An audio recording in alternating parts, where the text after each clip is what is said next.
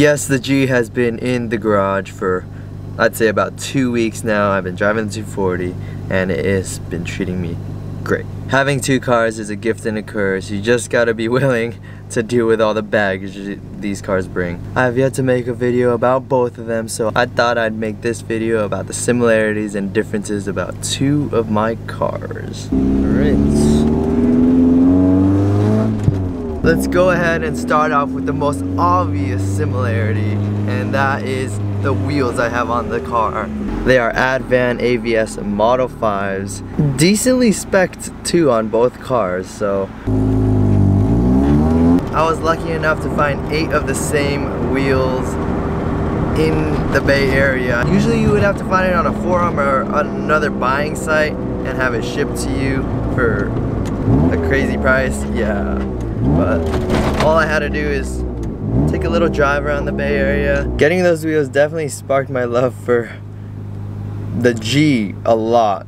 I noticed that my interest for cars was being slightly drained, especially when the G was on like stock wheels for the longest time. One thing I'm really hoping too is that I never get sick of these wheels. That would suck so much if I would have to sell it again.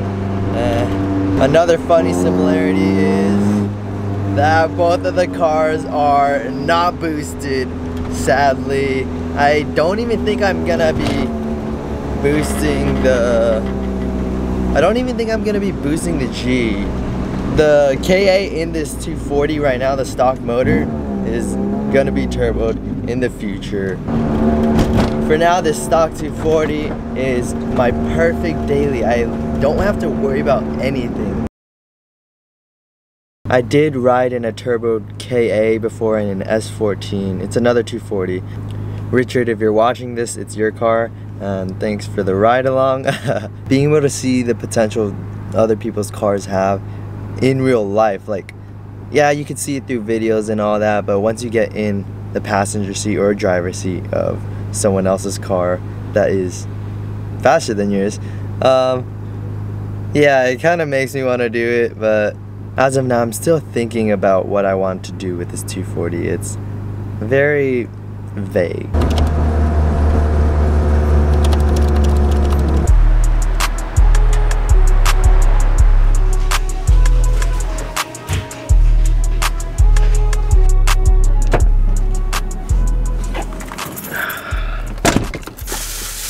My god.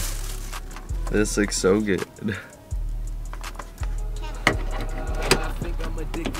Got my food from Bart Grocery and it looks amazing. Oh my. God.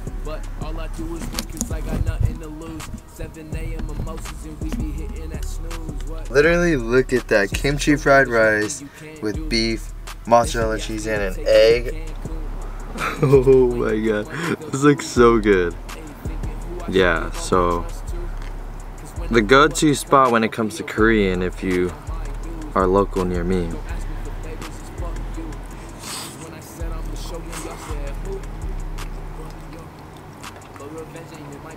Bro, super grateful that I have both of the cars. If I were to choose and I had an unlimited amount of money, it'd be these two cars that I have right now, a G35 and an S13 hatch.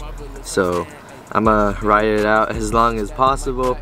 Uh, although recently I have been thinking of just selling one car because like with two cars the it's double the amount of stress obviously because you have to deal with more stuff. And I don't know. I really want to know your guys' feedback too on which car you would want me to sell it's not like this is gonna happen but I was considering it which is kind of still scary look at this fried rice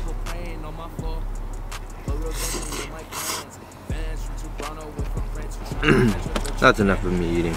My life marvelous like Stan. Ooh, I just made a diamonds dance when she stabbed in my back. Ooh, hey. But revenge ain't in my plans. Fans from Toronto went from France. You trying to catch up, but you can't. My life marvelous like Stan, ayy. I just made her diamonds dance when she stabbing my back. What, yo? But revenge ain't in my plans. Bitches from Toronto went from France. You tryna catch up, but you can't. My life marvelous like Stan. I just made her diamonds dance when she stabbing my back. But revenge ain't in my plans. Okay, what differentiates the G from the 240? I think the obvious one is stance over the daily look. I dailied this thing for a while on the height it's at. It's not the lowest it could be. I want it to be lower eventually. Definitely not practical and you're gonna fuck up some things like if you're gonna drive it every day. That's why I have the 240. Having the camber I do have and being semi-low to the ground, it is just more stresses you have to deal with if you're gonna drive your car every day.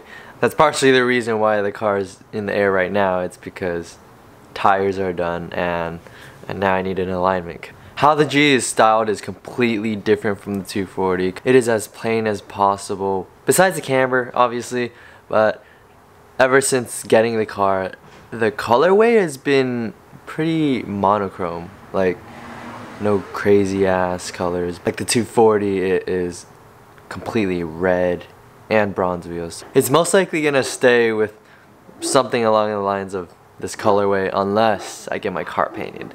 I really want to get my car painted. Lastly, this car is close to being done. Like, besides the color and the refinishing of the wheels.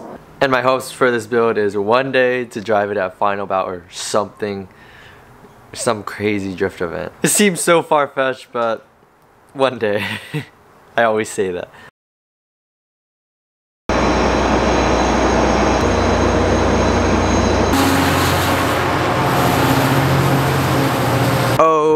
The 240, the one that I daily. It was literally half the price of the G and it's serving me pretty well so far. To be honest though, a daily that is completely stock would be way better than this thing. I don't I don't know if you could consider this a daily. One thing I think you guys did not know is that red is my favorite color and it almost stopped me from getting this very car right here. Yeah, I think I'd rather have any other color than red. The thing is, like the G, I could paint it, so I, want to do that. My excuse was, it's red, so if it gets all messed up, I wouldn't care. When you daily car, you're definitely not going to take care of it as well as a garaged one. Yeah, I, I really would have never thought I'd have a red 240. As far as this thing sits, it is way far from where I want it to be. There's like two stages where I want to take this car to. One set up on 17 inch wheels and then 18. With the 18 set, I'm going to have a fat kit and it's going to be to the floor. Like most of you car guys know, it will be a process and take years, if not decades. Nah, I'm kidding, not decades. Yeah, the fact that this car is far from finished makes me side towards selling the G. I don't know if I could do that though. Well, I hope you guys found out something new about me or my two cars. And honestly, shout out to Infiniti and Nissan for making such great cars for us to enjoy. But anyways, thank you guys for watching and stay tuned for the next video.